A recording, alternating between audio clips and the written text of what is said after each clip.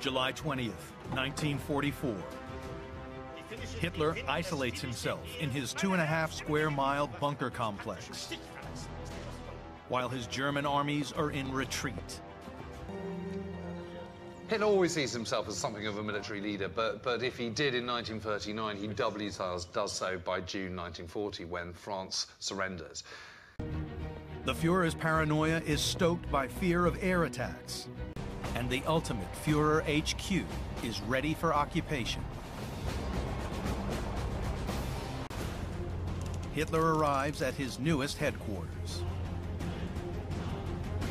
His military code name is Wolf, so he names it the Wolf's Lair.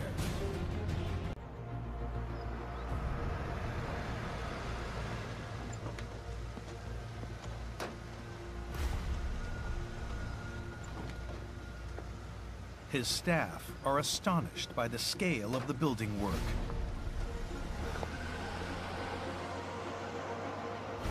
It's incredible what they achieved in such a short time.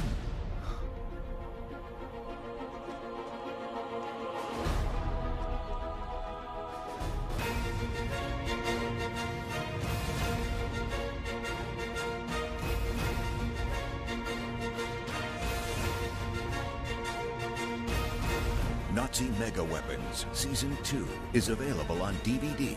To order, visit shoppbs.org or call 1-800-PLAY-PBS.